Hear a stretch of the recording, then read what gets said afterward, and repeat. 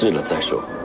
拿了钥匙开车上路，金钟影帝吴康仁急速狂飙，狂试车子性能。韩系品牌推出国产轿车性能版本，搭载1.6升缸内直喷涡轮增压引擎，最高可炸出204匹马力，跟27公斤米的高扭力，零到一百加速7.7秒，号称史上最强国产房车。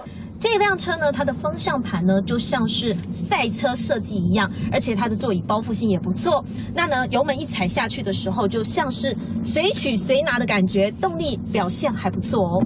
因为国产化压低成本，售价七十多万起，比进口版本便宜四十万。车商预估每月可卖出四百五十辆，销售成绩。无独有偶，同样以性能轿车姿态的，还有纳智捷 S 五，传言要推出 GT 二二零性能车款。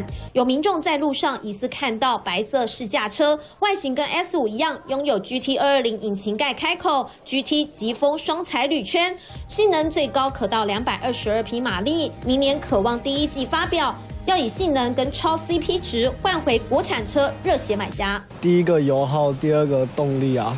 对，这两点我觉得就还蛮吸引的。再就是要看车型，性能没办法在路上显现出来，一般嘛，就一般的路没办法显现，因为都是坑洞啊，那个。对，只有在高速公路，可是高速公路又有危险的限制。这几年修旅车当道，轿车开始示威。为了杀出一片血路，车商转向开发性能轿车，希望能抢下热血男性客群，走另一条路来拉抬销售业绩。三选股高叔车子林台北报道。